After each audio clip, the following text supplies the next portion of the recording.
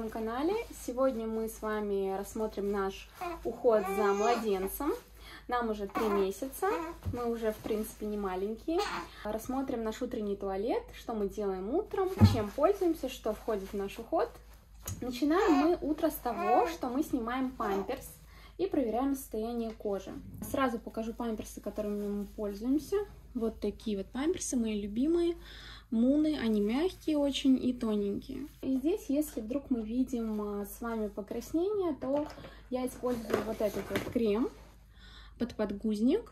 Он, в принципе, подсушивает опрелости, и в составе в него как раз-таки входит цинк.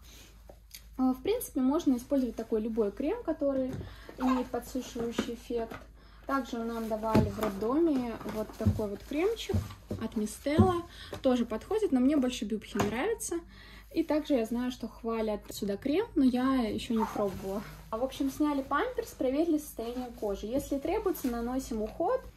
Если же нет, то я Монте оставляю лежать некоторое время без памперса, либо голеньким. Допустим, если у нас солнечная погода, вот как сегодня, я оставляю его немножко голеньким полежать на солнышке. Если я хочу, чтобы он долго полежал, то, в принципе, можно использовать трусики хлопковые. Сейчас покажу, какие у нас есть.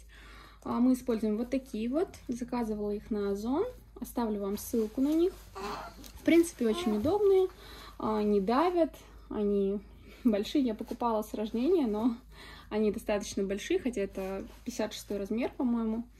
То есть вот такой наборчик из трех трусиков хлопковых. Надеваете малышу, и он у вас отдыхает от памперса.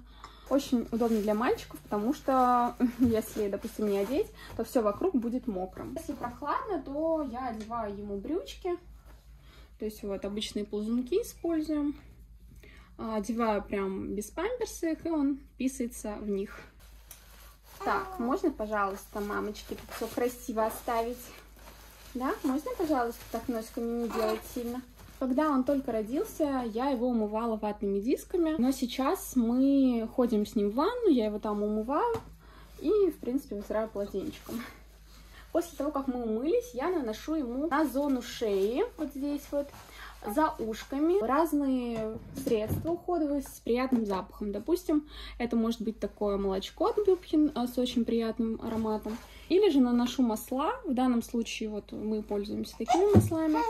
Очень вкусный аромат. А, просто после умывания наносим такой уход, чтобы кожа была мягкая. И, в принципе, очень приятные отдушки у них.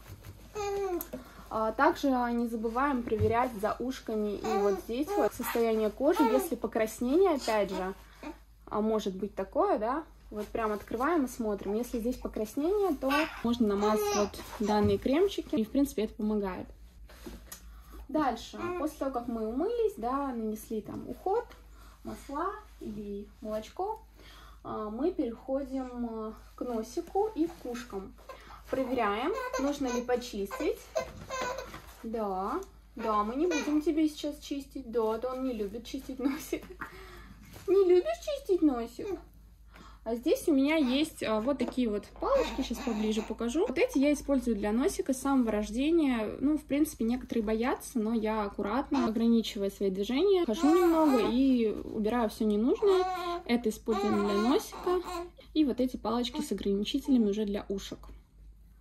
Также, если мы видим, что малыш шмыгает носом часто или у него есть сухие образования в носике, то используем Aqualor Baby. Это просто раствор морской воды.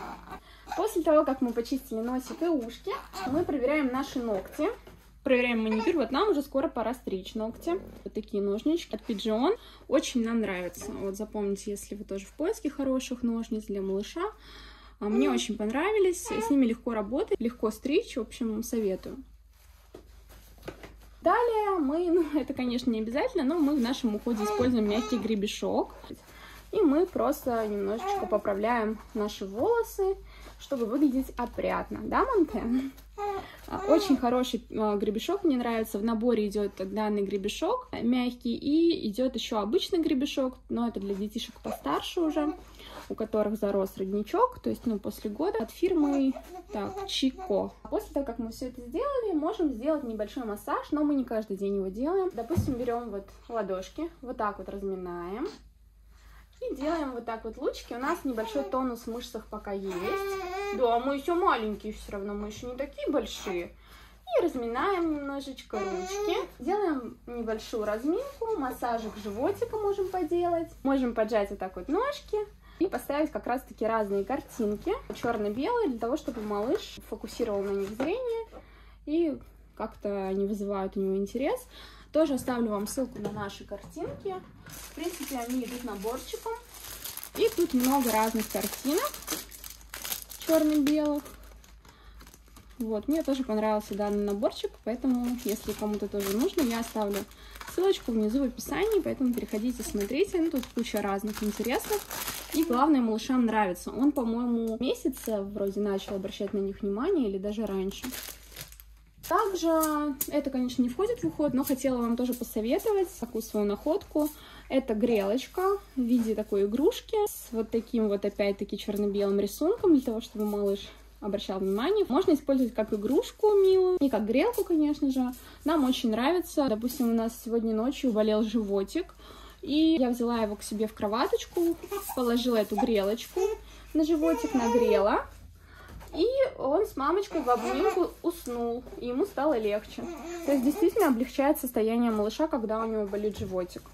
А, поэтому, опять-таки, оставлю ссылку, на Озоне тоже можно заказать. Если вам интересно смотреть организацию нашего комода пеленального, то я могу снять отдельное видео на эту тему. Поэтому напишите в комментариях, интересно ли вам было бы посмотреть такое видео от меня. Это был наш весь уход. На этом мы заканчиваем наше видео. Малыш уже у нас почему-то нервничает. Да, он хочет пойти играть на коврик уже. Спасибо вам всем за просмотр. Не забывайте ставить лайк, если вам оно понравилось. И подписываться на канал, чтобы не пропустить новые видео.